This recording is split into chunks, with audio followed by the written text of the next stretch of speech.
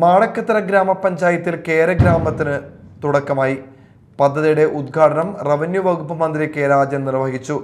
നൂറ് ഹെക്ടറിലാണ് രണ്ടാം വട്ട കേര ഗ്രാമം പദ്ധതി നടപ്പിലാക്കാൻ ലക്ഷ്യമിടുന്നത്.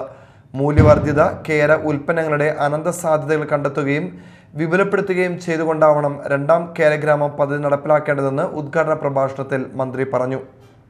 ഒന്നാം കേരഗ്രാമം പദ്ധതിയിൽ സംസ്ഥാനതലത്തിൽ ശ്രദ്ധയാകർഷിച്ച മാതൃകയായ പഞ്ചായത്താണ് മാടക്കത്തറ എന്ന് മന്ത്രി പറഞ്ഞു. പദ്ധതിക്ക് തുടർച്ച ഉണ്ടാവണമെന്ന ആഗ്രഹത്തിൽ നിന്നാണ് ഹൈബ്രിഡ് തെങ്ങിൻ തൈകളുടെ അടക്കം ഉൽപാദനം ലക്ഷ്യമിട്ട് നഴ്സറിയും ലൈസൻസും ഉൾപ്പെടെയുള്ളവ നേടിയെടുത്തതെന്നും മന്ത്രി കൂട്ടിച്ചേർത്തു.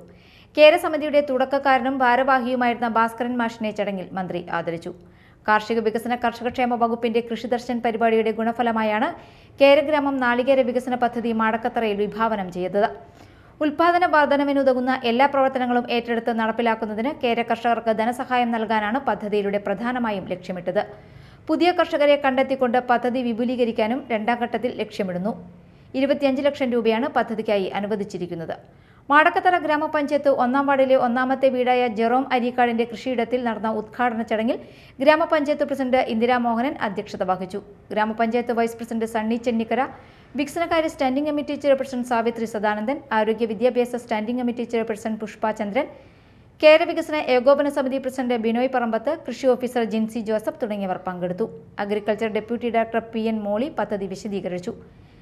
A D A P C Sathyavarma D P R സമർപ്പിച്ചു. പരിപാടിയുടെ ഭാഗമായി കേരഗ്രാമം ഗുണഭോക്താക്കൾക്ക് ഇടവിളക്കിറ്റും ജൈവവള വിതരണവും കേരസമിതിക്ക് ഡി പി ആർ കൈമാറ്റവും നടത്തി. Media time Thrissur.